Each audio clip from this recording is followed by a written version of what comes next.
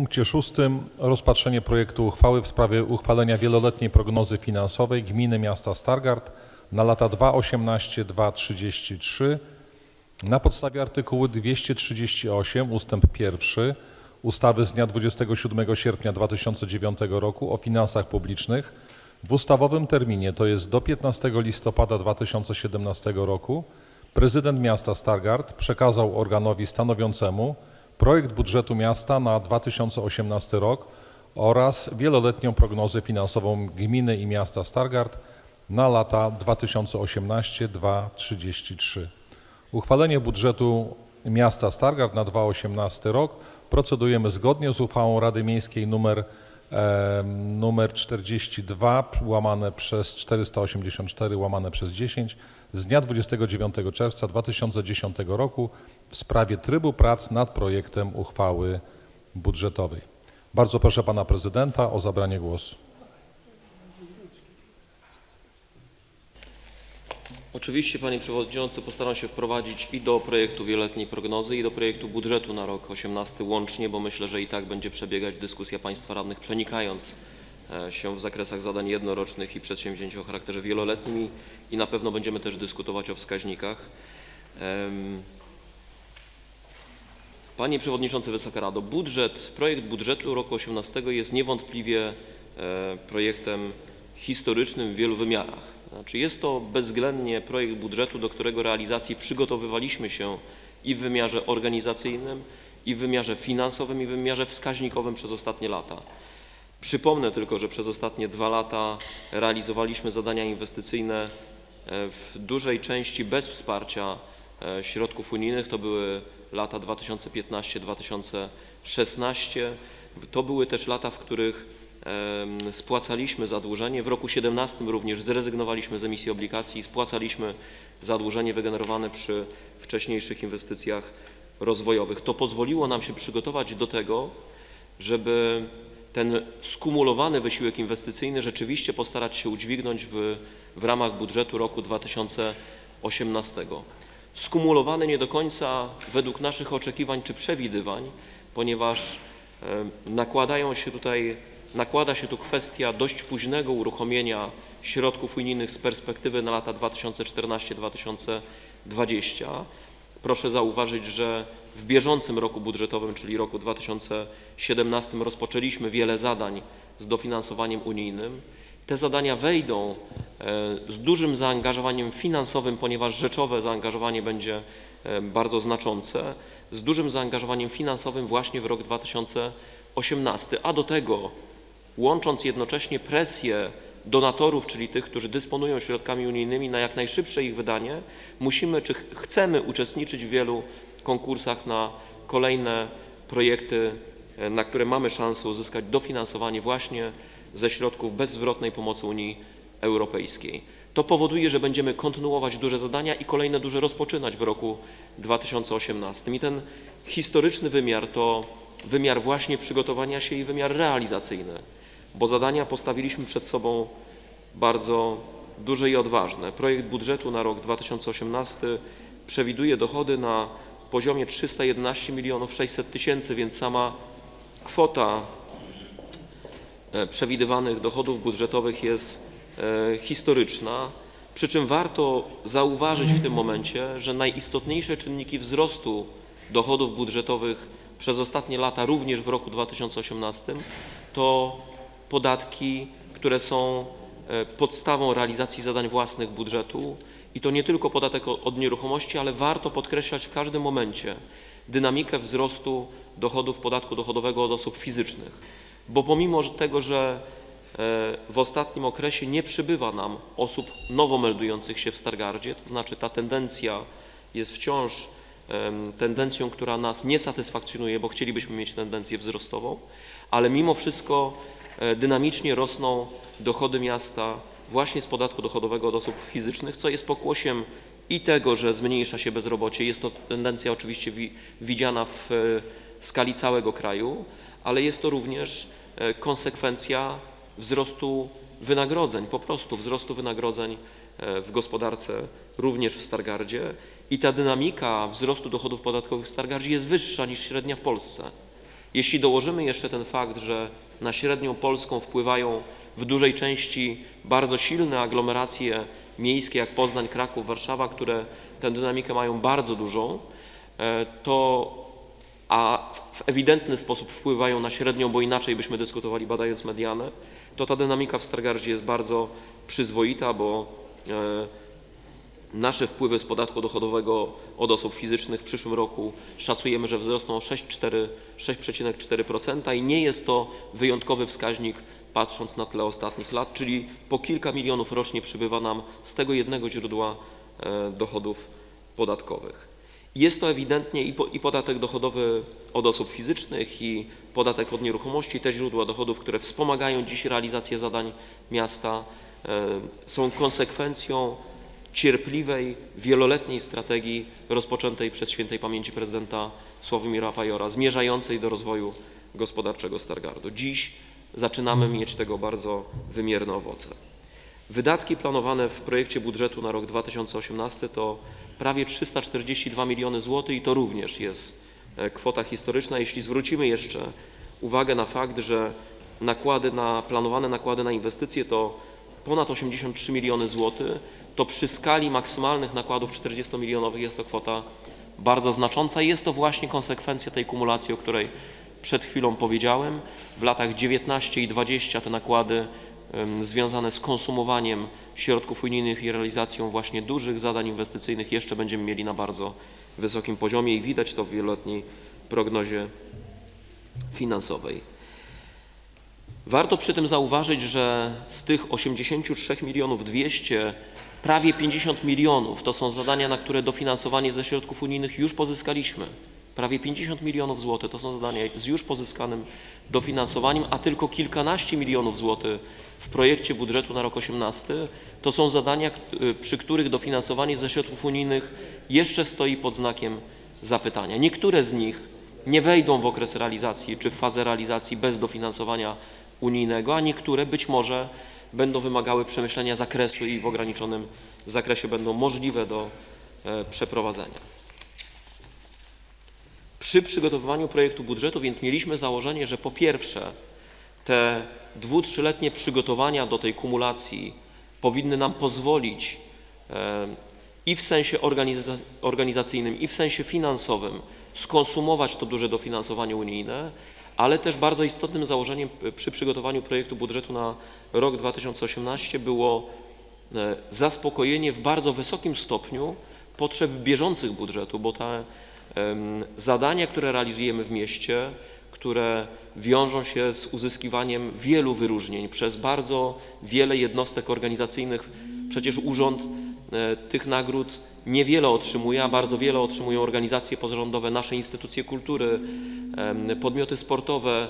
To jest konsekwencja wysokiego zabezpieczenia wydatków bieżących budżetu, czyli takiego zrównoważonego rozwijania miasta, gdzie nie tylko patrzymy na gospodarkę komunalną i inwestycje, ale właśnie w wysokim stopniu zabezpieczamy potrzeby mieszkańców. I to jest element też tej strategii.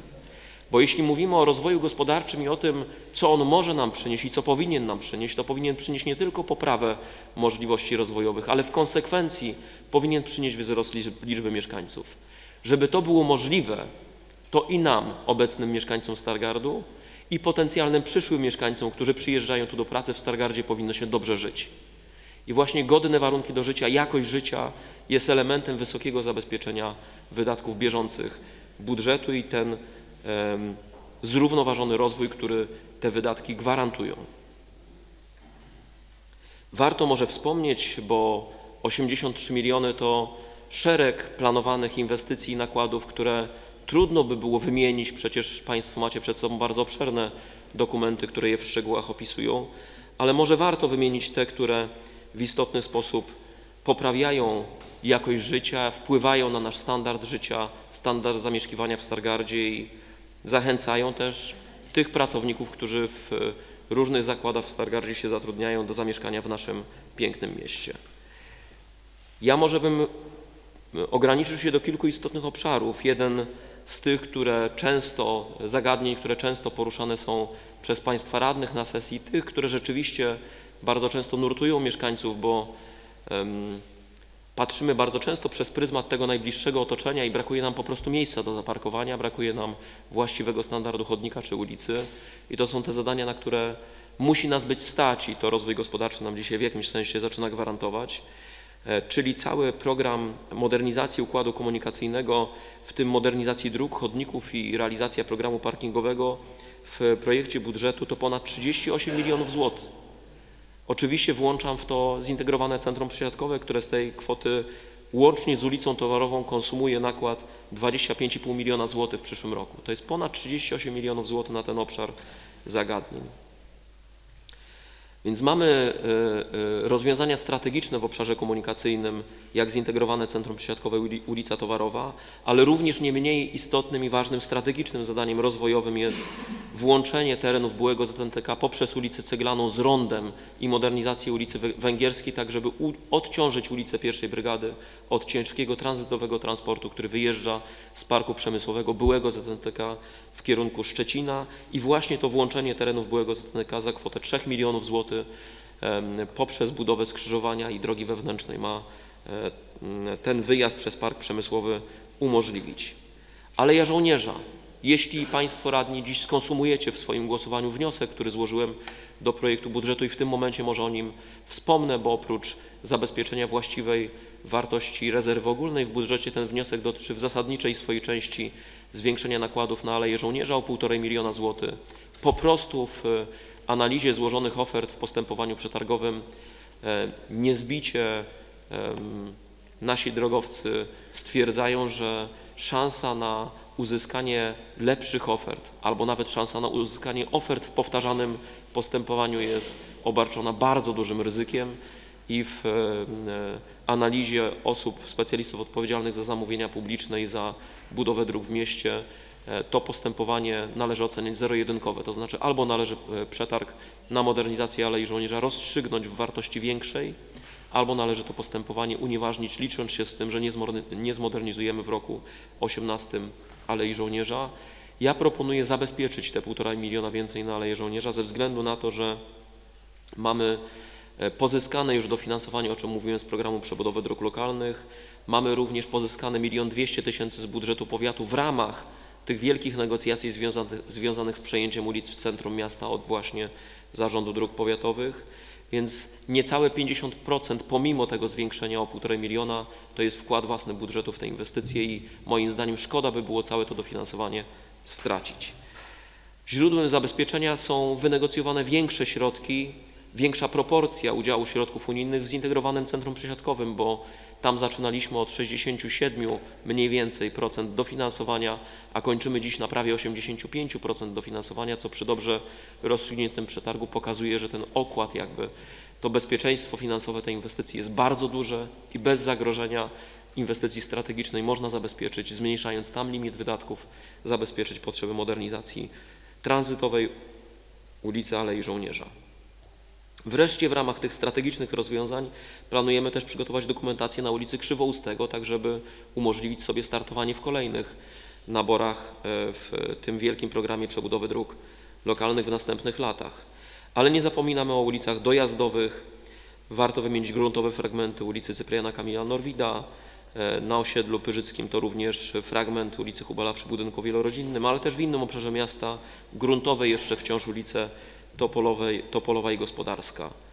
Program parkingowy to między innymi bardzo duży wysiłek na Starówce, bo to jest po likwidacji pawilonów e, na Starówce drugi etap tego dużego parkingu. To parking przy Basztowej sugerowany przez Państwa radnych, przy Płatnerzy również płynący z wniosku Państwa radnych, przy Lechickiej, e, przy Placu Słowackiego i wreszcie w pasach drogowych osiedla Tysiąclecia. To też zabezpieczenie środków na poprawę standardu nawierzchni asfaltowej właśnie w ramach tej technologii Slurry Seal. E, te środki modernizacyjne zabezpieczone w budżecie będą umożliwiały nam e, zabezpieczenie jezdni asfaltowych w kilku obszarach w mieście.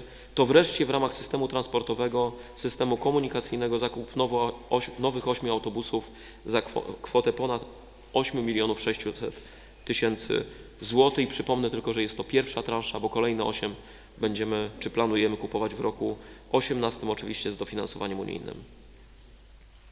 W innym obszarze, który przecież też w zakresie poprawy jakości życia jest bardzo istotny, w zabezpieczeniu czasu wolnego rekreacji dla mieszkańców, trzeba powiedzieć o historycznym projekcie modernizacji naszych miejskich plant.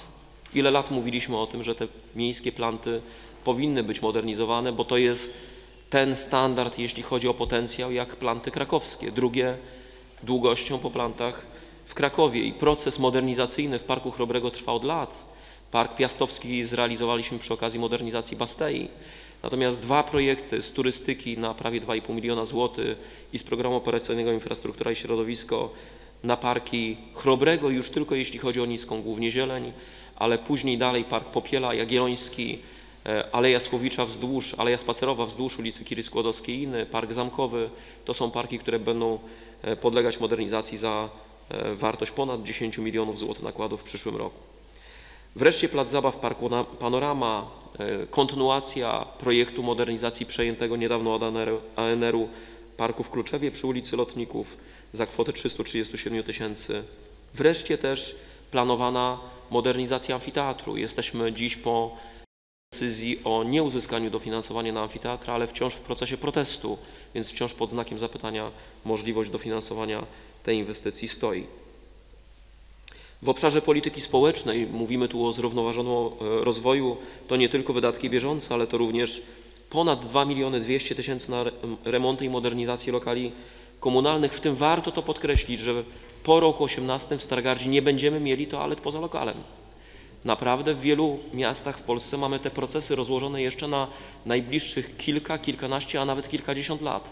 My w roku 18 skończymy program e, budowy toalet w lokalach mieszkalnych i jest to ewidentnie e, złagodzenie deficytu, który jest bardzo deprecjonujący i bardzo stygmatyzujący rodziny, które korzystają z toalet poza lokalem. Warto wspomnieć o planowanym, ale jeszcze ze znakiem zapytania ze względu na niepewną, niepewne dofinansowanie ponad 1 800 tysięcy na termo, termomodernizację kamienic komunalnych w centrum miasta, podwyższeniu kapitału zakładowego STBS-u na kwotę ponad 3,6 miliona złotych, z czego 23 lokale chcemy uzyskać przy ulicy Andersa i to będzie inwestycja w dużym stopniu zaawansowania w roku 18 i rozpoczniemy też budowę kolejnego budynku przy Śniadeckiego, tak żeby nie schodzić z tego tempa budowy przy Śniadeckiego chcemy uzyskać 24 lokale, więc jest ciągłość budowy lokali komunalnych, ciągłość dostarczania nowych lokali komunalnych przez naszą spółkę STBS. Pamiętać trzeba o, o tym, że kontynuujemy program budowy noclegowni w przyszłym roku e, nakłady finansowe to ponad 2 miliony złotych. Noclegownia dla osób bezdomnych przy ulicy Krasińskiego. W obszarze bezpieczeństwa bardzo wiele się dzieje, dzieje, również w tym wymiarze inwestycyjnym. Już nie powiem o tych działaniach, bo to bardziej pani radna Krystyna mogłaby mówić o centrum miasta i o swoich refleksjach. Natomiast rzeczywiście oprócz funkcjonowania Straży Miejskiej dofinansowujemy policję nie tylko tym bieżącym wsparciem na służbę, ale też inwestycyjnym na e, zakup w przyszłym roku, na dofinansowanie zakupu pięciu kolejnych radiowozów, motocykla, skokochron AED chcemy kupić Straży Pożarnej, w budżecie obywatelskim za ponad 144 tysiące ma być zrealizowana sieć defibrylatorów AED. Modernizujemy oświetlenie w mieście i to jest proces realizowany i wysiłkiem budżetu w przyszłym roku za ponad 600 tysięcy złotych i wysiłkiem inwestycyjnym firmy na oświetlenie, która kilkuset tysięczne nakłady rok w rok realizuje w, w modernizacji oświetlenia. Przecież to jest istotny temat podnoszony przez Państwa radnych również z obszaru poprawy bezpieczeństwa na drogach. Nie zapominamy o, świeże, o, o, sferze oświaty, bo oprócz wysokiego zabezpieczenia wciąż będę podkreślał nakładów bieżących oświaty. Mamy budowany przez STBS obiekt oświatowy z przedszkolem na osiedlu Pyrzyckim. Planujemy termomodernizować szkołę podstawową nr 3 za blisko 2 miliony złotych. E, praktycznie wynegocjowany z partnerem i e, z dużym potencjałem na dofinansowanie wreszcie projekt w Interregu szkoły podstawowej nr 2 E, który obejmuje jeden z budynków windę i teren sportowy. Tereny sportowe szkół, które cieszą się dużym poparciem mieszkańców w głosowaniach nad budżetem obywatelskim to ponad 650 tysięcy złotych. Wreszcie też nie zapominamy o pewnych kierunkach na przyszłość, o pewnej strategii i wizji dla miasta, bo oprócz poprawy jakości życia i przeciągania nowych mieszkańców chcemy myśleć o przestrzeni w mieście. Konkurs, o którym dzisiaj wspominaliśmy, na koncepcję urbanistyczno-architektoniczną dla obszaru centrum ze szczegółowym rozwiązaniem zagospodarowania Placu Wolności Wyszyńskiego, to ma być element budowy nowego, dobrego centrum w śródmieściu Stargardu, gdzie to centrum handlowo-usługowe już dawno się z rynku przeniosło. To wreszcie realizacja w przyszłym roku strategii przyciągania nowych mieszkańców, o której mówiłem i która wejdzie w fazę, w, w pierwszą fazę realizacyjną. Oczywiście ten duży wysiłek budżetowy, ten duży nakład inwestycyjny nie jest możliwy do udźwignięcia wyłącznie dochodami budżetu miasta, bo na stać na tę skalę dochodów, która umożliwia nam nakłady inwestycyjne na, kwotę kilkunastu, dwudziestu milionów złotych rocznie, chyba że jesteśmy wsparci taką, tak wysokim zbyciem nieruchomości, jaką, jaka miała miejsce w ostatnim czasie. I w przyszłym roku również będziemy chcieli posilić się pieniądzem dłużnym, które ma nam umożliwić sfinansowanie właśnie tej kumulacji wynikającej z wdrażania pieniędzy unijnych. Zaplanowane są obligacje na kwotę 27,5 miliona złotych, przy czym ja chcę podkreślić w tym momencie, że jest to limit górny obligacji, a wszystkie zdarzenia i zwiększenie dochodów, na przykład zbycie mienia i weryfikacja realizacji, skali realizacji zadań inwestycyjnych, czy też niepozyskanie dofinansowania może powodować zmniejszenie niezbędnej skali emisji obligacji jakby decyzja o emisji poszczególnych serii e, jest decyzją związaną z zarządzaniem finansami budżetu na bieżąco. E, Ten limit dziś służy do pełnego zbilansowania tego wielkiego wysiłku inwestycyjnego miasta. Pan Przewodniczący o tym mówił, ale warto, warto podkreślić, że ten proces opiniowania przez Regionalną Izbę Obrachunkową zakończył się pozytywną opinią i liczę na duże poparcie ze strony Państwa radnych tego naszego wspólnego, ambitnego i historycznego projektu budżetu miasta. Dziękuję bardzo. Dziękuję bardzo panie prezydencie. Przypomnę, że e, było to wprowadzenie do punktu 6 i 7, a więc rozpatrzenie projektu uchwały w sprawie uchwalenia wieloletniej prognozy finansowej gminy miasta Stargard na lata 2018-2033 wraz z wnioskiem oraz e, projekt budżetu miasta również e, wraz e, z wnioskiem. Informuję, że radni otrzymali pozytywne uchwały składu orzekającego Regionalnej Izby Obrachunkowej w Szczecinie z dnia 1 grudnia 2017 roku w sprawie wydania opinii o projekcie uchwały budżetowej miasta Stargard na 2018 rok, wydania opinii o możliwości finansowania deficytu przedstawionego w projekcie budżetu miasta na 2018 rok oraz wydania opinii o projekcie uchwały w sprawie uchwalenia wieloletniej prognozy finansowej gminy miasta Stargard na lata 2018-2033. Proszę przewodniczących komisji o przedstawienie wyników głosowań poszczególnych komisji. Bardzo proszę komisję rewizyjną.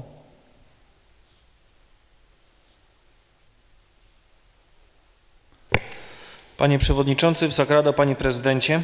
Komisja rewizyjna na posiedzeniu w dniu 24 listopada 2017 roku jednogłośnie przy pięciu głosach za pozytywnie zaopiniowała projekt budżetu gminy miasta Stargard na rok 2018 oraz jednogłośnie, również przy pięciu głosach za, pozytywnie zaopiniowała projekt uchwały w sprawie uchwalenia wieloletniej prognozy finansowej gminy miasta Stargard na lata 2018-2033. Dziękuję. Dziękuję bardzo. Komisja Gospodarcza, pan e, przewodniczący Krzysztof Pakulski, proszę. Panie Przewodniczący, Wysoka Rado, Panie Prezydencie, Komisja Gospodarcza na posiedzeniu w dniu 27 listopada 2017 roku większością głosów przy czterech głosach za i jednym wstrzymującym się pozytywnie zaopiniowała projekt budżetu Gminy Miasta Stargard na rok 2018 w zakresie działania Komisji oraz większością głosów również w takim samym stosunku czterech głosach za i jednym wstrzymującym się pozytywnie zaopiniowała projekt uchwały w sprawie uchwalenia wieloletniej prognozy finansowej Gminy Miasta Stargard na lata 2018-2033. Dziękuję. Dziękuję bardzo. Proszę o stanowiska Komisji Oświaty, Kultury i Sportu. Pan przewodniczący Mariusz Nosal, proszę. Panie Przewodniczący, Wysoka Rado, Panie Prezydencie, Komisja Oświaty, Kultury i Sportu na posiedzeniu w dniu 21 listopada 2017 roku jednogłośnie pozytywnie zaopiniowała projekt budżetu Gminy Miasta Stargard na rok 2018 w zakresie działania Komisji oraz jednogłośnie pozytywnie zaopiniowała projekt uchwały w sprawie uchwalenia wieloletniej prognozy finansowej Gminy Miasta Stargard na lata 2018-2033. Dziękuję. Dziękuję bardzo. I Komisja Społeczna, pani przewodnicząca Krystyna Smolarek, proszę. Panie, już, już.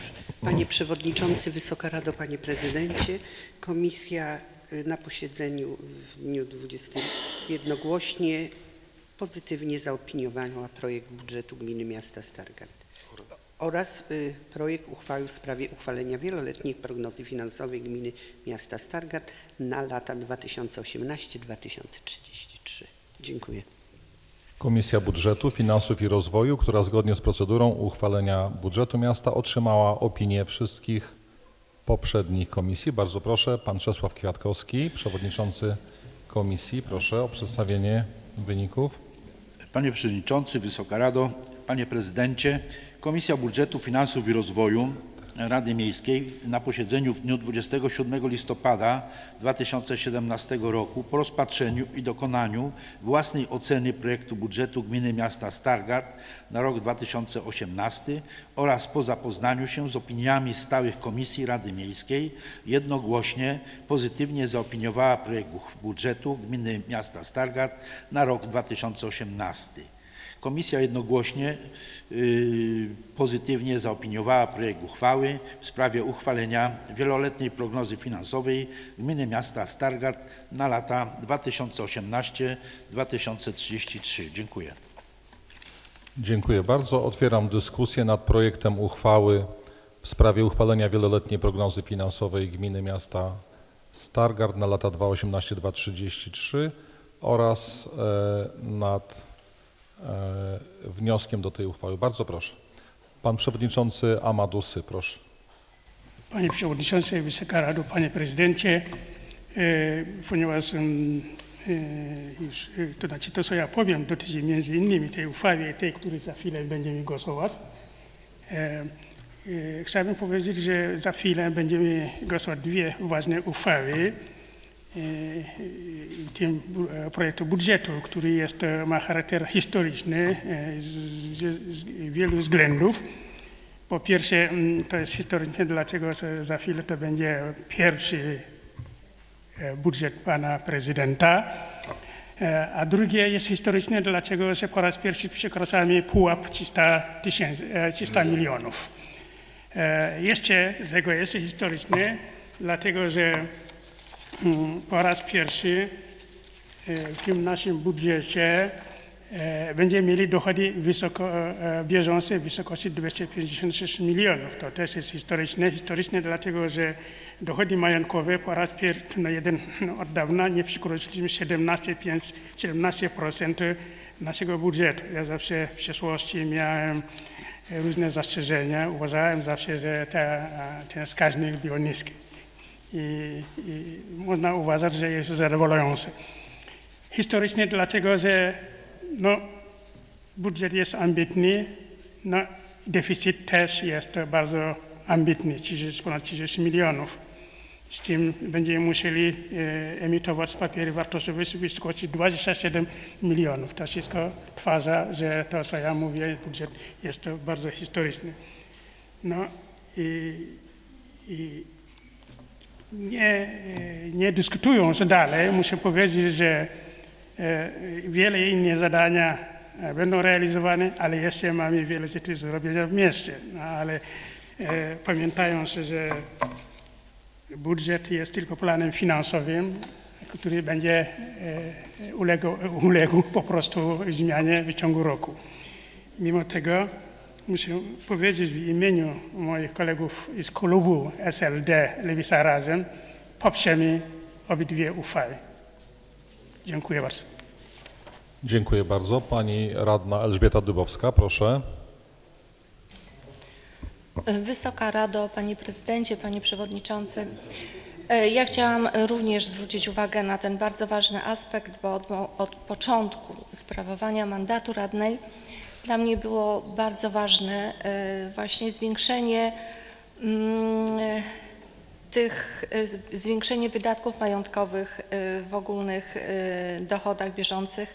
Rozpoczynaliśmy od kilkunastu milionów, a dzisiaj mamy 83 miliony i mam nadzieję, że ten kierunek zostanie na stałe w naszym budżecie, gdyż no naprawdę w, trzy- 340 milionów, tak, już teraz może, może, może sprawdzić, że to miasto naprawdę będzie inaczej wyglądało. I to nasze centrum, i parki, e, i infrastruktura e, drogowa, o którą tak dużo ludzi tutaj do Pana e, pisze i prosi o, o te zmiany. Dziękuję.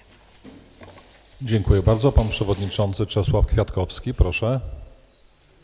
Panie Prezydencie, Wysoka Rado, Panie Przewodniczący, tak prawdę mówiąc chciałem poczekać do czasu, kiedy byśmy rozmawiali o samym budżecie, no ale skoro koledzy radni zaczęli już prezentować stanowiska własne i klubów, to chciałbym także zaprezentować stanowisko klubu samorządowego radnych Rady Miejskiej w Stargardzie.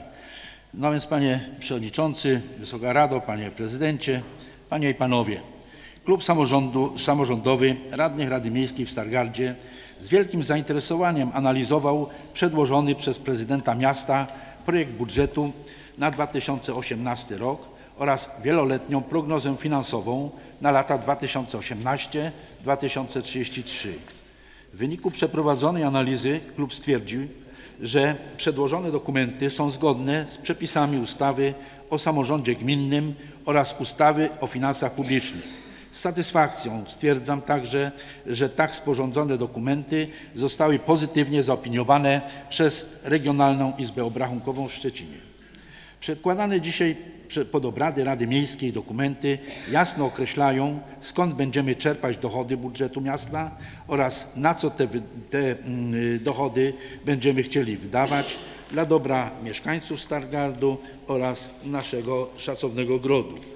Z satysfakcją odnotowujemy w przyszłorocznym budżecie zapowiedzi prezydentów świętej pamięci Sławomira Pajora oraz obecnego prezydenta Rafała Zająca, że budżety minionych lat musiały być uboższe, aby przygotować się, aby mieć możliwość finansowania i aplikowania o środki unijne, których nowa perspektywa właśnie nabiera rumieńców. Klub samorządowy jest przekonany, że samorząd Stargardu będzie miał organizacyjne i finansowe możliwości jako jeden z pierwszych sięgać po te środki w szerokim zakresie, o czym przekonują nas prezydent miasta oraz odpowiednio przygotowana, wykształcona i doświadczona kadra specjalistów pracujących w samym Urzędzie Miejskim, jak i w miejskich jednostkach organizacyjnych. Moje słowa w dniu dzisiejszym brzmią być może jak piękne życzenia świąteczno-noworoczne, bo i atmosfera, i choinka, i wigilia skłaniają ku temu. Jednak życzenia w odróżnieniu od projektu budżetu wynikają z serca i marzeń. Budżet zaś z rzetelnych danych i pieniędzy oraz twardej ekonomii. To jednak, jak uczył mnie mój stary nauczyciel, jeżeli już bierzesz się do jakiejś roboty, to włóż trochę serca w tę swoją pracę. I tak myślę, że uchwalając ten dzisiejszy budżet, włożymy w jego realizację całe nasze umiejętności i energię. A jaki ma być ten budżet na 2018 rok? Dochody budżetu mają wynosić 311 milionów 668 262 zł. Zaś wydatki budżetowe mają wynosić 341 936 100 zł. Zakłada się więc, że y, budżet będzie z deficytem wynoszącym 30 milionów 267 y, 832 zł. Deficyt ma być pokryty głównie z emisji papierów wartościowych w wysokości 27,5 miliona złotych, a ponadto mamy zamiar pokryć przychody przychodami z pożyczek Wojewódzkiego Funduszu Ochrony Środowiska, yy, zwrotu udzielonych wspólnotom mieszkaniowym pożyczek, wolnych środków występujących jako nadwyżka środków pieniężnych na rachunkach bieżących budżetu miasta. Z całą, całą mocą trzeba tu podkreślić, że emitowane papiery wartościowe jest, emitowanie papierów wartościowych jest związane wyłącznie z inwestycjami, które będą kontynuowane i rozpoczynane w roku budżetowym 2018 roku.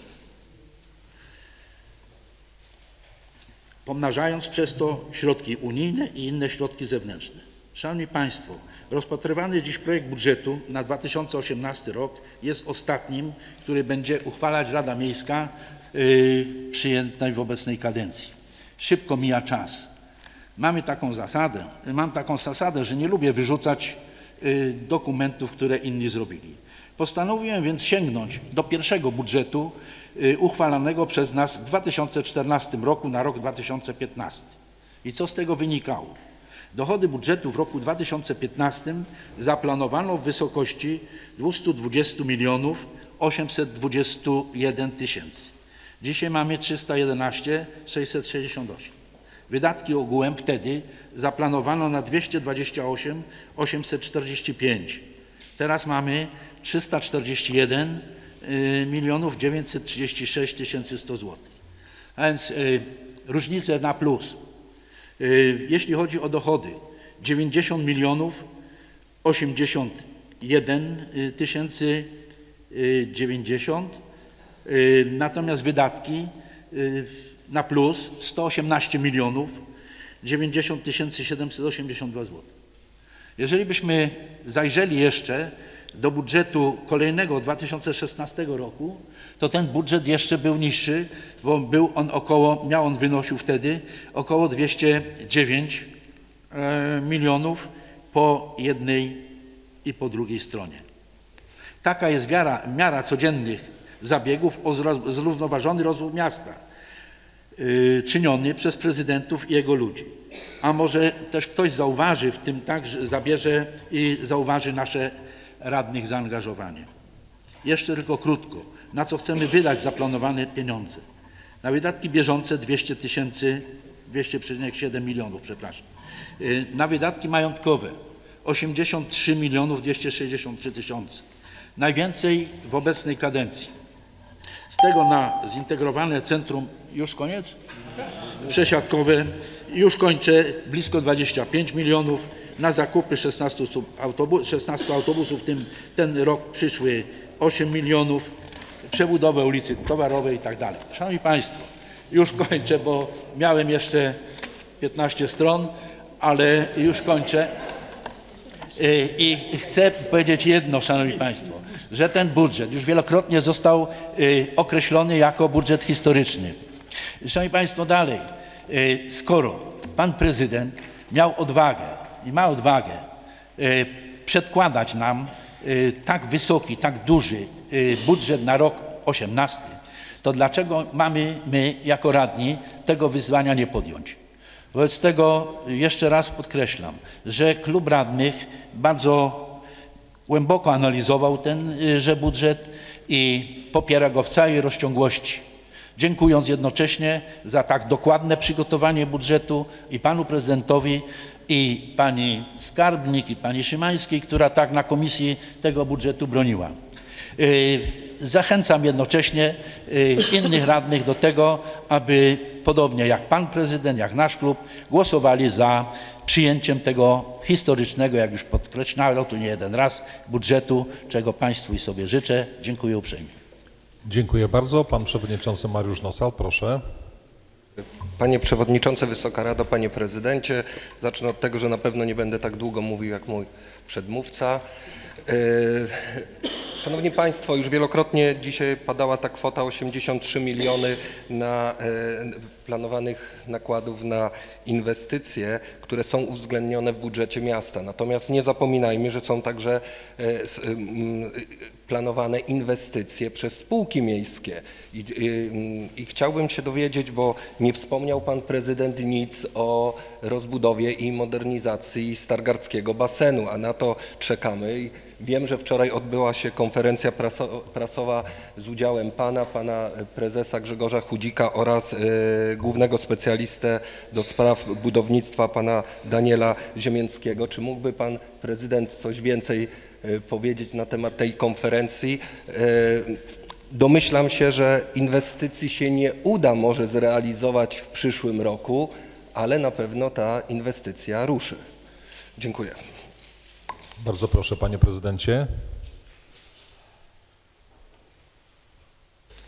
Panie Przewodniczący, Wysoka Rado, no, Pan Przewodniczący nie pierwszy raz wraca do tego tematu modernizacji pływalni. Faktycznie są, są inwestycje, które w istotny e, sposób wpływają na poprawę jakości życia, są realizowane wysiłkiem spółek.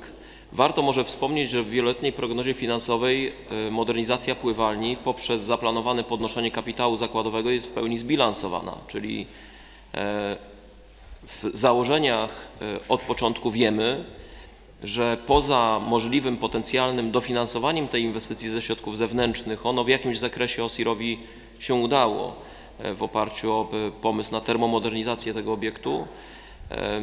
Nie ma szans na dofinansowanie większościowe i to wynika z każdego dokumentu strategicznego, więc wiemy o tym, że modernizacja pływalni na siebie nie zarobi. To znaczy pływalnie generalnie, baseny generalnie w Polsce nie zarabiają na koszty utrzymania poza miejscowościami dużymi, turystycznymi, w szczególności jeśli chodzi o tego typu inwestycje akwaparkowe duże. Ja zakładam i zarząd spółki zakłada, że po modernizacji nasz basen jest w stanie być bliski bilansu, ale na pewno nie zarobi na spłatę kapitału.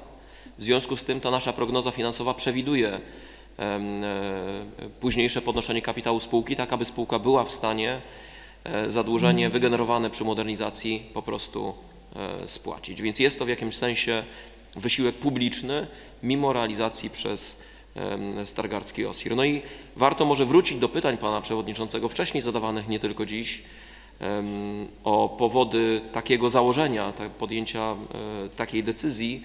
Warto wrócić może te kilka lat wstecz, e, przypomnieć, kiedy zastanawialiśmy się, co dalej z basenem na Szczecińskiej, bo to rzeczywiście był przedmiot naszych analiz i już wtedy e, zleciliśmy takie opracowanie koncepcji na modernizację pływalni podmiotowi zewnętrznemu, ekspertowi w e, inwestycjach basenowych, bo to był człowiek, który miał doświadczenie i w dużych inwestycjach akwaparkowych, i w mniejszych inwestycjach stricte basenowych. E, Z tej analizy niezbicie wynikało, że e, nie ma szans na realizację oczekiwań akwaparkowych w wartościach poniżej 50 milionów złotych. I to potwierdzają konkrety, to znaczy Centrum Wodne Laguny nakłady około 60 milionów, niedawno oddany akwapark w Koszalinie 88 milionów, Nie wspomnę o planach na fabrykę wody za około 200 milionów w Szczecinie. Więc y, akwapark to jest kilkudziesięciomilionowy wydatek, na który w mojej ocenie e, Stargardu nie stać. Tym bardziej, że w przypadku Stargardu inaczej niż ma to miejsce we Wrocławiu, Warszawie, Krakowie, e, nie mamy ani takiego potencjału ludnościowego, e, ani potencjału turystycznego, który powodowałby, że ten akwapark będzie w stanie się bilansować, więc podejmowalibyśmy decyzję nie tylko o rezygnacji z wielu rozwojowych inwestycji, chcąc budować akwapark, ale również ograniczylibyśmy swoje możliwości rozwojowe przez wiele najbliższych lat, e, biorąc na siebie odpowiedzialność i konieczność dofinansowania bieżących kosztów eksploatacji tego typu obiektu. W związku z tym już wtedy podjęto decyzję, że e, należy zmodernizować pływalnię przy Szczecińskiej. I powodów do tej decyzji było kilka, bo po pierwsze trzeba zwrócić uwagę te porównania dziś jakby w związku z tym, że trzykrotne postępowania na modernizację pływalni nie wyłoniły wykonawcy i dyskusja w naturalny sposób w mieście trwa w organie stanowiącym również, to pojawiają się te pytania i porównania z innymi obiektami podobnego typu e, w Polsce, niedawno budowanymi czy modernizowanymi. I zawsze przy tych porównaniach warto wejść w szczegół, bo to jest kwestia właśnie pewnej specyfiki. To znaczy, na pływalni przy Szczecińskiej nie musimy realizować dużego kompleksu do nauki pływania, bo inaczej niż w wielu wymienianych miastach, nie jest to jedyny basen w mieście. Mamy jeszcze dwa szkolne baseny. W byłym gimnazjum nr 4, czyli w SP11 i w SP5. To są dwa szkolne baseny, które w dużej części naukę pływania ten obowiązek gminy przejmują na siebie. Więc tej wody do nauki pływania przy Szczecińskiej może być zdecydowanie mniej, a to jest element porównywany, ta strefa właśnie do nauki pływania głębszego basenu rekreacyjnego jest porównywana z innymi tego typu obiektami realizowanymi w Polsce. Wreszcie mm, e, zwrócić należy uwagę, że obiekt przy Szczecińskiej to obiekt zabytkowy. Więc on jest po pierwsze trudno zbywalny, po drugie niemożliwy do wyburzenia, czyli nie można przyjąć takiego założenia, że taniej jest zburzyć i wybudować nowy, no bo tego obiektu zburzyć nie można. Budować gdzie indziej z kolei to jest też bardzo istotny element, który i te, te kwoty e, padały ze strony dyrektora technicznego, inwestycyjnego właśnie pana Daniela Ziemińskiego wczoraj na konferencji prasowej. On przeprowadził taką analizę porównującą nakłady, bo my w Stargardzie przy tej inwestycji, warto to też podkreślić, kosztem dla budżetu, kosztem dla finansów publicznych kosztem dla OSIR-u nawet będzie wartość inwestycji netto, a nie brutto, która jest często podawana. I to porównanie jednych inwestycji w wartościach netto, a w przypadku Stargardu w wartościach brutto też wykrzywia w pewnym sensie ten obraz, na to zawsze warto w ten szczegół jednak zajrzeć i wejść. Mm, e, Więc netto nie przekroczy 20 milionów złotych. Nawet zakładając pewne zwiększenia, które są konieczne w wyni- w- w wyniku czy w e, konsekwencji analizy bieżącego składu zespołu, który tym, tą inwestycją się, przygotowaniem tej inwestycji się w OSIRze zajmuje. E, Tym bardziej, że zakładam, że e, realizacja nowej siłowni ma szansę na realizację komercyjną, czyli z kredytu zaciągniętego bez obciążania finansów publicznych, kredytu spłacanego z dochodów z siłowni, e, z tego całego zaplecza cardio przez samą spółkę, a nie budżet. Bo ta inwestycja ma po prostu charakter komercyjny. E, Więc ten wysiłek finansów nie dość, że odciążony pozyskanym dofinansowaniem, odciążony tą częścią komercyjną, ten wysiłek dla finansów publicznych ostatecznie może być jeszcze dużo mniejszy niż nowych obiektów budowanych w innych lokalizacjach. Do tego warto dodać same atuty tej lokalizacji, bo to nie jest tak, że tego, do tego obiektu historycznego Stargardzianie nie mają sentymentu. To po pierwsze i może wartość sentymentalna nie powinna decydować o ekonomii, ale jednak to też ma znaczenie w odbiorze społecznym. Ale jeszcze większe znaczenie moim zdaniem ma wybitnie dobra lokalizacja tej pływalni, tej historycznej pływalni. Ona jest po prostu, można powiedzieć, prawie w centrum miasta. Dostępna z kilkunastu linii autobusowych e, w otoczeniu dużych osiedlowych. E, Każda realizacja nowego obiektu, jeśli wyburzenie tego nie jest możliwe, a sprzedanie nie wiąże się z potencjałem do, duże, do uzyskania dużych pieniędzy, no to trzeba zwrócić uwagę na to, że każda realizacja na gruncie miejskim to jest realizacja na obrzeżach miasta, więc dostępność do tego obiektu, nie tylko do nauki pływania, ale również do rehabilitacji, sportu i rekreacji byłaby dużo trudniejsza.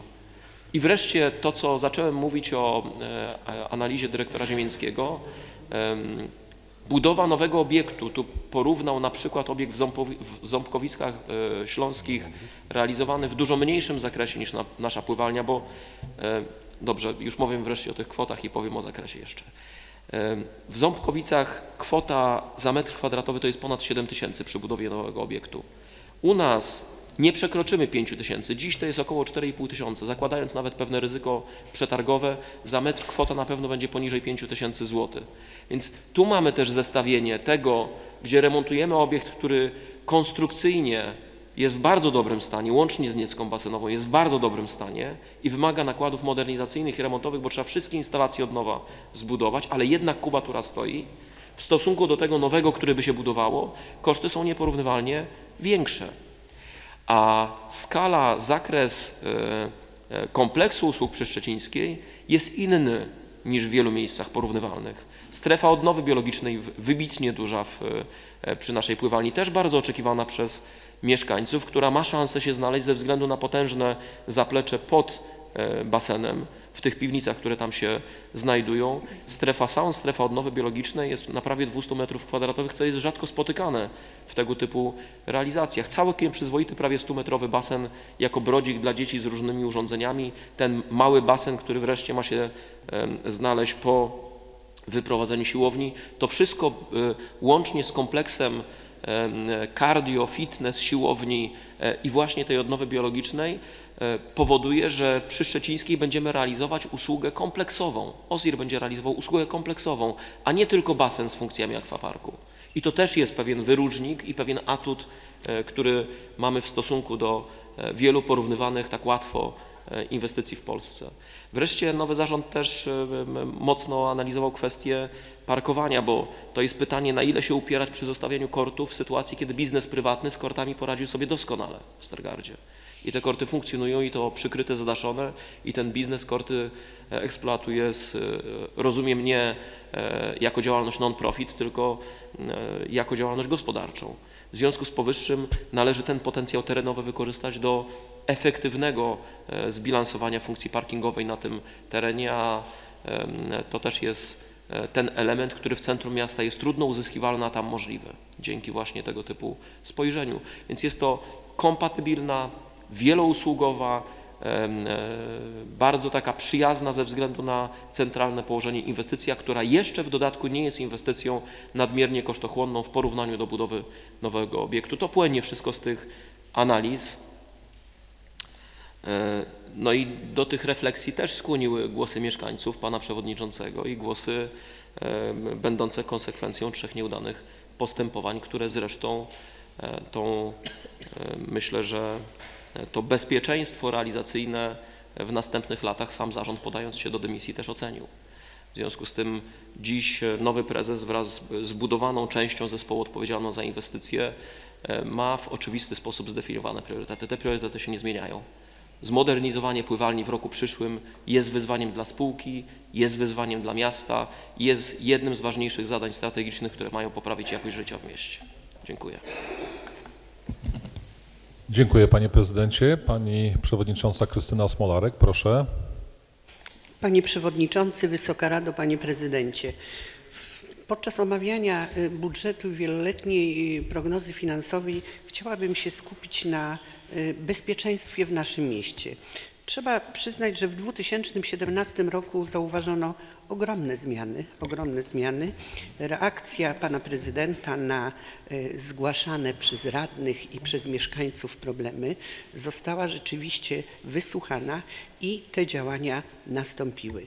A że poczucie bezpieczeństwa to podstawowa potrzeba człowieka, w latach ubiegłych jednym z ważnych problemów było zakłócenie spokoju i porządku w centrum miasta w godzinach nocnych. Tych uwag było zbyt dużo od mieszkańców, również od radnych.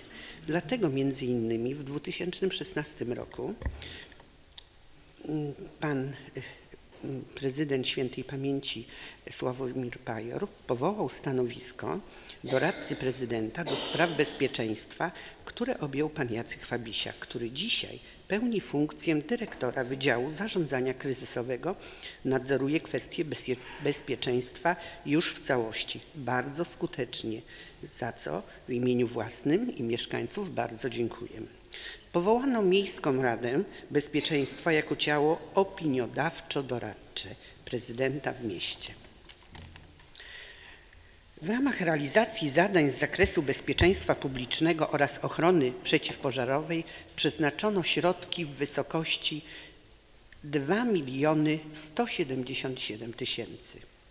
Zatrudniono służby ponadnormatywne na ulicy Wyszyńskiego i osiedlu Tysiąclecia w okresie letnim. Przyznano rekompensaty pieniężne za czas służby przekraczające określone normy, a także na pokrycie kosztów służb pełnionych w ramach odbywania adaptacji zawodowej policjantów w służbie przygotowawczej na terenie nas, naszego miasta. Uruchomiono system kamer. Montaż monitoringu na osiedlu Tysiąclecia w liczbie czterech kamer to 48 tysięcy mieszkańców. Przede wszystkim mieliśmy na względzie y, to usytuowanie nocnych lokali w centrum miasta i dlatego zostały między innymi te y, kamery zainstalowane, mając na względzie bezpieczeństwo y, mieszkańców. Dla zabezpieczenia, zabezpieczenia bezpieczeństwa i porządku publicznego Straż Miejska uruchomiono całodobowy dyżur w mieście funkcjonariuszy Zatrudniono trzy osoby dodatkowo, by nie uszczuplić dotychczasowej obsady. Zakupiono radiowóz elektryczny do Straży Miejskiej. Pojazd wykorzystany jest do służby patrolowo-interwencyjnej w kwocie 140 tysięcy. Poprawa warunków pracy skutkowała tym, iż istotną rzeczą jest przeniesienie Straży Miejskiej z byłej siedziby przy ulicy Warszawskiej dzięki wsparciu Sarlu do nowo zmodernizowanych pomieszczeń do budynku ZNTK. Dla poprawy bezpieczeństwa pan prezydent Rafał Zajął podjął decyzję o wymianie kamer na nowo wysokiej klasy kamery na ulicy Wyszyńskiego i na ulicy Grodzkiej. Jedna była uszkodzona przez wyładowania atmosferyczne na ulicy Grodzkiej, a na ulicy Wyszy Wyszyńskiego kamera zużycie technologiczne. Dofinansowano Y, do policji zakup jednego radiowozu, a w 2018 pięciu radiozo, radio, radiowozów dzięki decyzji Rady sfinansowano sztandar. Dzięki takiemu zaangażowaniu pana prezydenta miasta i radnych Rady Miejskiej, komendant wojewódzki policji podjął decyzję o zorganizowaniu wojewódzkich obchodów święta policji w Stargardzie. I tu podczas tej uroczystości będzie wręczony nowo ufundowany sztandar dla policji. Stargard jest miastem, które zdecydowało się skorzystać z systemu naprawmy to.pl. Poprzez naprawmy to.pl poprawiono funkcjonowanie naszego miasta, usprawniło to kontakt z mieszkańcami. To właśnie strażnicy dyżurni odbierają zgłoszenia, alerty wysłane przez mieszkańców za pośrednictwem aplikacji. Dla osób, które nie posługują się smartfonem lub komputerem, oddano do dyspozycji numer telefonu 91 50 577 50 90 czynny 24 godziny na dobę. Dzwoniąc pod wskazany numer telefonu, zgłaszany, y, zauważony problem, zgłaszamy zauważony problem, a odbierający zgłoszenie ma za zadanie zgłosić do właściwych służb z obowiązkiem monitorowania stanu jego realizacji czy naprawy. Pół Jest minuty, to działanie radna, bardzo Przepraszam, pół minuty zostało. Dobrze, transparentne, na bieżąco pokazujące efekty podjętych działań. Ja bym mogła na temat bezpieczeństwa mówić bardzo wiele, bo to mi w duszy gra, a ponieważ, już kończę, a ponieważ y, mieszkam w centrum i wiem, jak dużo się zmieniło, jak, jak jest, naprawdę mieszkańcy chwalą, polepszyły się warunki y, y, y, w miejscu zamieszkania. Za te wszystkie działania pragnę serdecznie podziękować panu prezydentowi, Wysokiej Radzie, wszystkim służbom, które czuwają nad bezpieczeństwem mieszkańców w naszym mieście. Dziękuję. Dziękuję bardzo. Pan przewodniczący Amadusy, proszę. Przewodniczący, Wysoka Rado, Panie Prezydencie. To, co powiedziałem wcześniej, to było oświadczenie bardzo krótkie, jak się okazało, w imieniu klubu SLD, ale w tej chwili mówię o, o siebie i nie ukrywam, że to, co mówię, przekracza zakresu tego budżetu, ale to jest dobra okazja, żeby mówić o przyszłości też budżetowej o sprawie, bo tak jak mówię historycznie, na następny budżet nie ma pewności, że miesięcy tutaj siedzą i będziemy go uchwalić, lepiej powiedzieć jako zapowiedź. Bardzo bym chciał, że w następnej budżecie, oczywiście 2019, żeby już e, zaprowadzić nowe zadania pod nazwiskiem deptak na osiedlu Zachód, o którym bardzo często koło tej fontanny z ścieżką rowerową, która łączyłaby osiedle żołni- e, Żołnierza, Kościuszki i, zresztą kilkakrotnie mówiłem o tym, które ożywiało, ożywiałoby po prostu to, to osiedle. Nie ukrywam, że fakt, że fontanna jest zrobiona, to naprawdę dużo, no jest dużym elementem, bo to jest miejsce kultury e, naszego osiedla. I to tyle. Dlatego mówię tym, bo w ciągu roku buduje się po prostu kolejne budżety. Bardzo bym prosił o pomyślenie o nowym zadaniu w letnim planie, który nastąpi. Dziękuję bardzo. Dziękuję bardzo. Pan radny Krzysztof Dybowski, proszę. Panie Przewodniczący, Wysoka Rado, Panie Prezydencie, Szanowni Państwo. Rzeczywiście mamy do czynienia z historycznym budżetem, jeśli chodzi o cyfry i wyzwania, które nas czekają w przyszłym roku i w następnych latach. Ja chciałbym serdecznie podziękować przede wszystkim wszystkim dyrektorom wydziałów, którzy ciężko pracują nad tym budżetem, bo za budżetem nie stoi tylko prezydent, ale też urzędnicy. Proszę przekazać wszystkim pracownikom urzędu serdeczne podziękowania za wkład włożony w ten budżet. Panie prezydencie, dla pana też serdeczne podziękowania dla pani prezydent za ciężką pracę, bo bycie prezydentem to nie jest prosta sprawa. Jeśli komuś się wydaje, że wystarczy wygrać wybory i można rządzić miastem, to jest w grubym, w grubym błędzie. Trzeba posiadać wielkie kom- kompetencje, trzeba być zaangażowanym i harować, bardzo ciężko harować za marne pieniądze, znaczy słabe pieniądze. Panie prezydencie, jedno pytanie na koniec, może w chwili takiej szczerości. Chciałem zapytać się o, o zagrożenia dla budżetu i zagrożenia dla e, wieloletniej, wieloletniej prognozy finansowej, bo takie niewątpliwie istnieją. Wspominaliśmy o tym na Komisji Budżetowej Gospodarczej, ale wydaje mi się, że warto byłoby też o tym wspomnieć. Dziękuję. Proszę bardzo. Pan prezydent Rafał Zając. Zagrożenia mają to do siebie, że nie wszystkie rozpozna się i przewidzi od razu. Te, które przewidujemy, to staramy się im w miarę możliwości zapobiegać i jeśli chodzi o zbilansowanie budżetu i tę stronę finansową, to jeszcze przy tym zbyciu nieruchomości jestem o ten, o ten element e, strategii finansowej dość spokojny.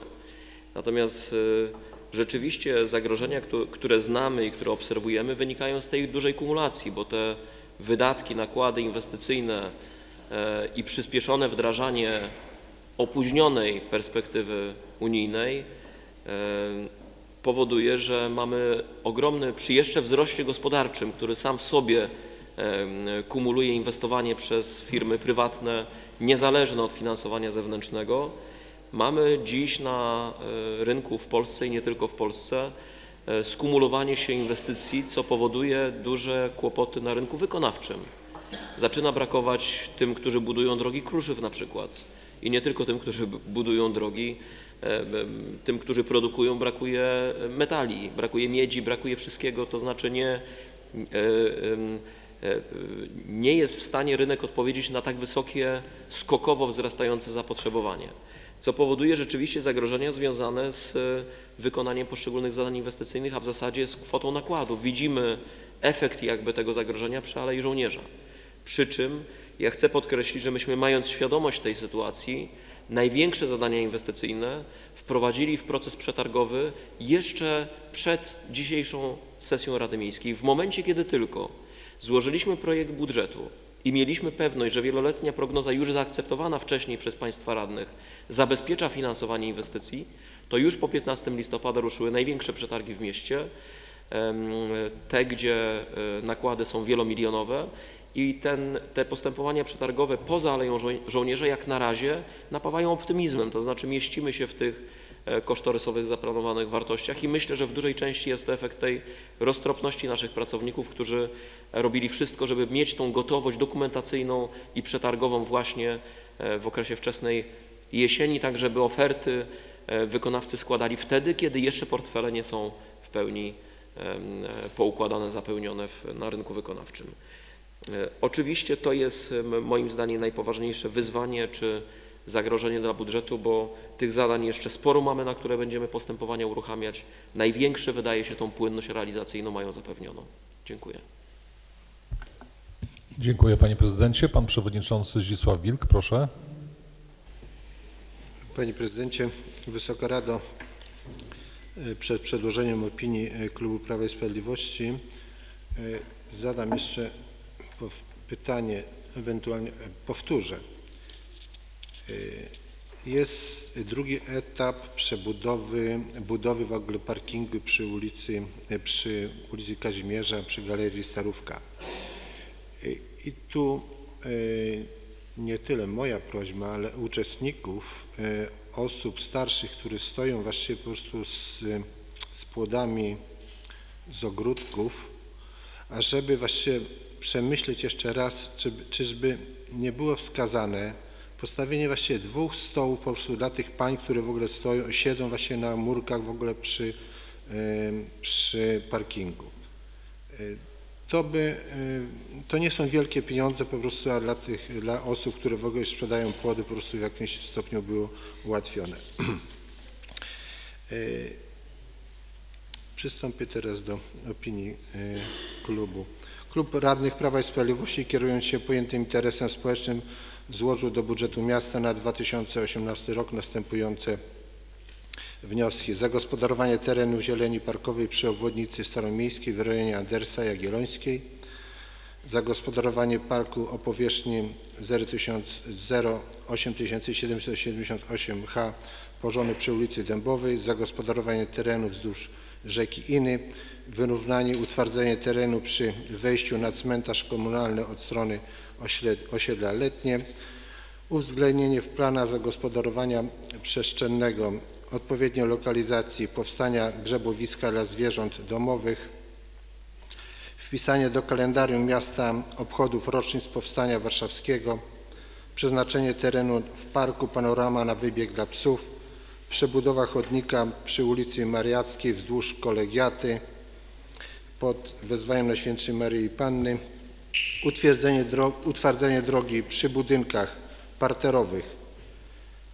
2, 2A, 2B, 2C, 2D, 2E przy ulicy Jagiellońskiej, przebudowa chodnika przy ulicy Kosmonautów w Kluczewie, budowa parkingu przy ulicy Płatnerzy na działce 249 łamane przez 1, remont jezdni przy ulicy Płatnerzy na odcinku Mieszka I Łokietka, powiększenie miejsc postojowych przy szkole podstawowej numer 5. E, Panie Prezydencie, Wysoka Rada, nie będę omawiał wszystkich zadań, które nie znalazły się w budżecie na 2018 rok, ale skupię się na dwóch zadaniach, które powinny być uwzględnione właściwie w tym y, budżecie. Powiększenie miejsc postojowych przy szkole nr 5 jest już 6 miejsc postojowych. Rozchodzi się o dodatkowe 6 miejsc. To nie jest wielki koszt w porównaniu do budowy dodatkowych miejsc postojowych przy Galerii Starówka. I drugie zadanie, utwardzenie drogi przy barakach przy ulicy Jagiellońskiej. Panie Prezydencie, w 2015 roku w obecności świętej pamięci Pajora mówił Pan, że to zostanie, zadanie zostanie wykonane w 2016 roku.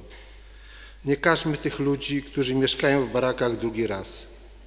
Mamy nadzieję, że w momencie uwolnienia środków te zadania zostaną wykonane. Suma tych zadań, dwóch zadań wynosi zaledwie 50 tysięcy złotych. Dziękuję Panie Prezydencie. Wysoka Rado. Dziękuję bardzo. Lista oczekujących w dyskusji jest pusta. W takim razie przystępujemy do głosowania nad wnioskiem prezydenta miasta Stargard dotyczącym wieloletniej prognozy finansowej gminy miasta Stargard na lata 2018-2033. Bardzo proszę, kto z Państwa radnych jest za, kto przeciw, kto wstrzymał się od głosu? Proszę o oddanie głosu. Dziękuję. Proszę o podsumowanie wyników. Stwierdzam, że przy jednym głosie wstrzymującym Rada przyjęła wniosek prezydenta. Dziękuję serdecznie. Wysoka Rado,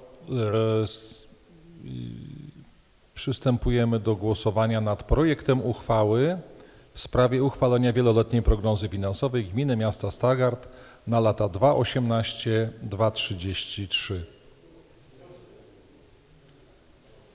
Przed chwileczką głosowaliśmy wniosek. Tak?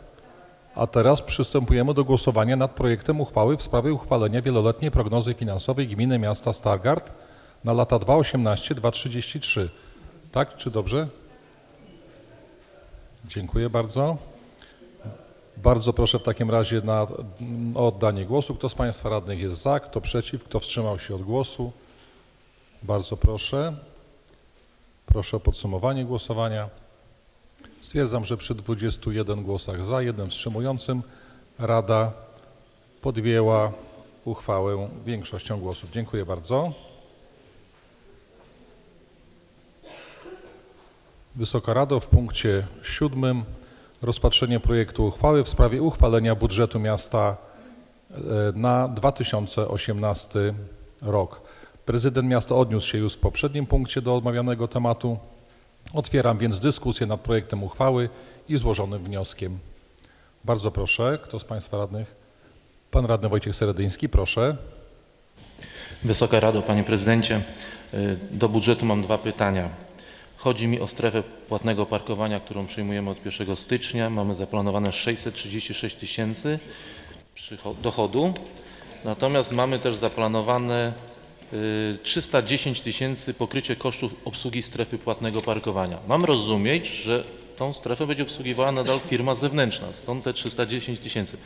A czy nie należałoby się nad tym zastanowić, żeby samemu to realizować? Podobnie nadzór wielu miast w Polsce, nie mówiąc, nie mówię przez powołanie jakiejś odrębnej spółki do tego, ale w ramach kompetencji istniejących naszych spółek, na przykład MPGK czy TBS. Jeszcze nie dokończyłem mojej myśli. Chodzi o to, że Myślę, że byłoby to możliwe. Obecnie jak obserwuję strefę płatnego parkowania, jest to biuro na ulicy Wojska Polskiego, jest tam jedna osoba, dwóch albo trzech pracowników obsługujących w to sposób fizyczny, więc można to też kontynuować y, w, w ramach własnych y, y, możliwości. Biuro zrobić w którejś właśnie z tych spółek. Mamy kasy TBS-ie, mamy kasy MZK, mamy kasy w Urzędzie Miejskim, gdzie można by było te opłaty uiszczać. I myślę, że ta kwota byłaby zdecydowanie większa y, po odjęciu kosztów utrzymania niż wychodzi to obecnie. Natomiast drugie pytanie dotyczy kwestii pomnika patriotycznego.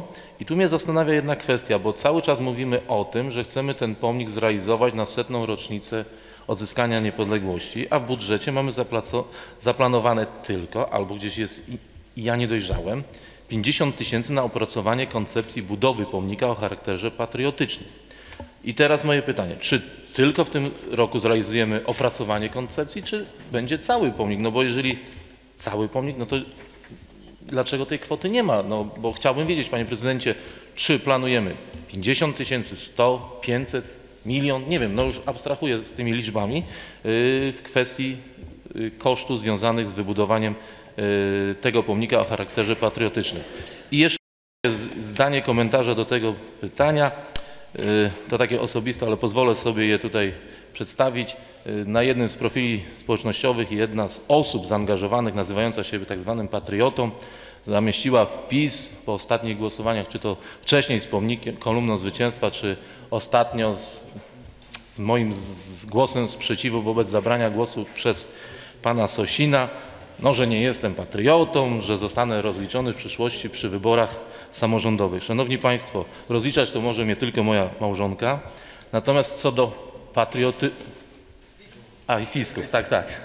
Co do patriotyzmu, no wie Pań- Państwo, to można mierzyć naprawdę skalą nieporównywalną, bo kto jest patriotą? Czy ci, co 11 la- listopada szli w Warszawie z tymi hasłami, nie będę mówił jakimi, czy ci, co obnoszą się z opaską biało-czerwoną, czy godłem na ubiorze, a może ci, co w Stargardzie, co osobiście widziałem i byłem zażenowany, y, bo to nie tak powinno wyglądać, tamowali w sposób nielegalny 1 sierpnia ruch o godzinie 17, bo proszę Państwa, nie można inaczej nazwać jak wyjazd y, w lewą stronę z ulicy Barnima na środek skrzyżowania, zatrzymanie ruchu, bieganie po skrzyżowaniu, utrudniając poruszanie się osobom innym, a do, co do tego jeszcze sprowadzając moim zdaniem zagrożenie dla uczestników ruchu w postaci rzucania pod nogi rad. A ja uważam, że tu na tej sali są sami patrioci, bo my pracujemy dla tego miasta, dla tego kraju, płacimy podatki. Czy to, to nie jest patriotyzm? To, to można naprawdę mierzyć różnie. Dziękuję. Dziękuję bardzo. Bardzo proszę, nie wiem, czy pan prezydent e, odniesie się? Bardzo proszę, pan prezydent Rafał Zając. Zaprzeczam, jaką miałbym być autorem wpisu na Facebooku. Natomiast y, w przypadku pomnika patriotycznego, myśmy o tym już mówili, potrzebna jest decyzja Wysokiej Rady. To musi być odrębna uchwała Rady Miejskiej, która przesądzi o tym, czy ten pomnik budujemy. Na razie Wysoka Rada w budżecie decyduje się wykonać koncepcję po to, żeby wiedzieć, nad czym chcemy dyskutować. Jak ten pomnik ma wyglądać. Uchwała kierunkowa, która powołała komitet, któremu powierzyliśmy tę misję, została przez Radę podjęta i ten komitet pod, przewodnictwem pani prezydent Ewy Sowy pracuje. To jest po prostu jeden z etapów. Dziś przed przesądzeniem, czy budujemy, bo o tym przesądzi Rada i według jakiej koncepcji trudno jest budżetować środki po prostu. Ale potwierdzam, że scenariusz budowy e, pomnika na stulecie niepodległości, jeśli e, weźmie się pod uwagę lokalizację, która nie ma przeszkód formalno-prawnym, wydaje się na tym eta- etapie możliwy. Taki scenariusz wydaje się na tym etapie możliwy.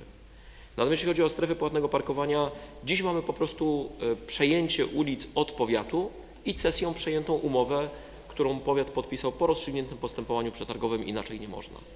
Ja już pomijam tę analizę, co się bardziej opłaca, czy zlecić, czy utrzymywać własne, ale to jest temat na później. Dziś przejmujemy umowę, którą powiat zawarł po postępowaniu przetargowym i która nas jako cedenta obowiązuje.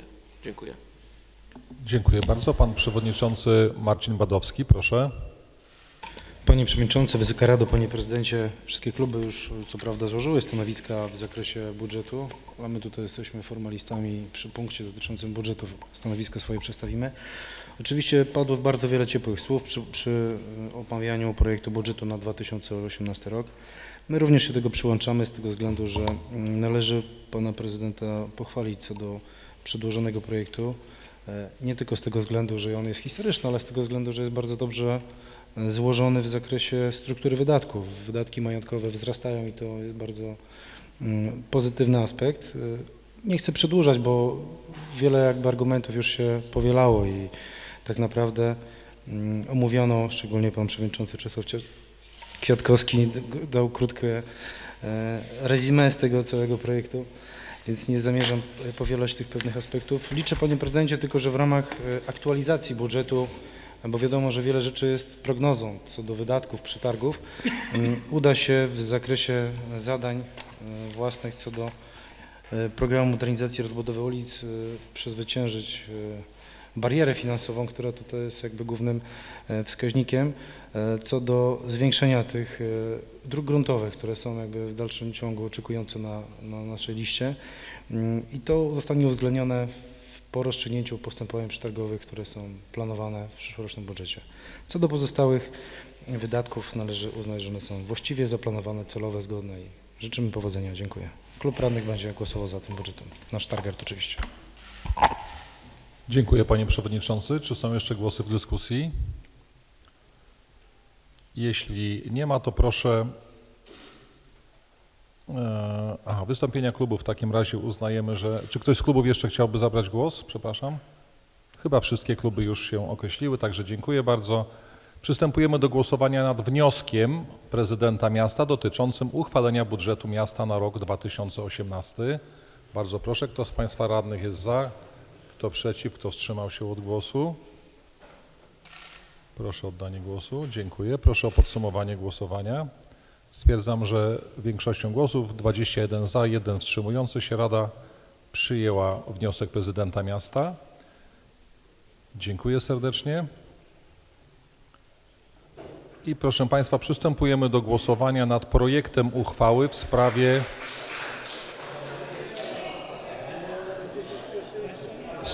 Dziękujemy, dziękujemy bardzo za tak życzliwe przyjęcie e, wniosku i przystępujemy do głosowania nad projektem uchwały w sprawie uchwalenia budżetu miasta na 2018 rok. Bardzo proszę, kto z Państwa radnych jest za, kto wstrzymał się, kto jest przeciwny.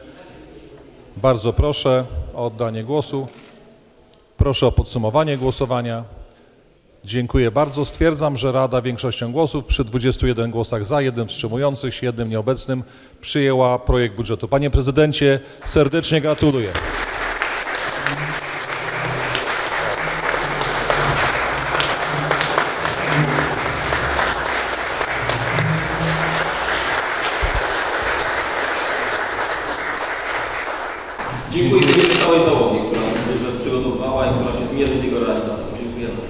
My serdecznie gratulujemy i dla ochłonięcia zarządzam 10 minut przerwy.